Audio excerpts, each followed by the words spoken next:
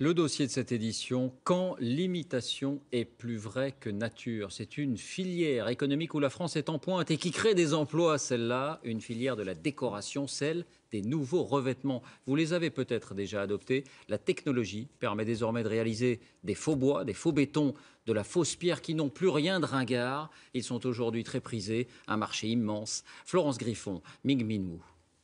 Dans les magasins de bricolage, ces imitations sont très prisées. En tête des ventes, les sols plastiques. À la différence du grès cérame et du bois composite, ils sont faciles à poser. Pas besoin d'être bricoleur. On vient réemboîter la partie mâle ici. On va venir pousser et on emboîte les deux ensemble. Ah, ok. Alors du vinyle, j'en ai mis dans la salle de bain. Voilà. Mais en plus, c'est très facile à poser.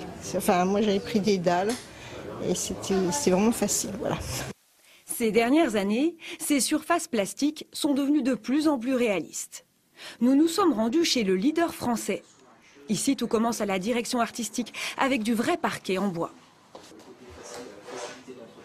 On part de cette planche de bois que vous avez ici, ce, cette image, ce décor. Nous allons le scaler, le retravailler pour ensuite savoir le réimprimer sur support vinyle. L'astuce, c'est que le relief du bois est également scanné pour le répliquer sur ce plastique noir. Lui n'est pas lisse. Il reproduit les minuscules creux des rainures. Le voici en gros rouleau sur la ligne de fabrication à l'usine. Le décor bois est collé dessus. Il faut ensuite ajouter une couche d'usure transparente. C'est elle qui donnera la résistance. Reste à découper les lames. Ça ressemble maintenant vraiment à du parquet, mais avec un prix de vente très différent, entre 15 et 40 euros du mètre carré. À ce prix-là, on peut même choisir l'exacte couleur de son bois.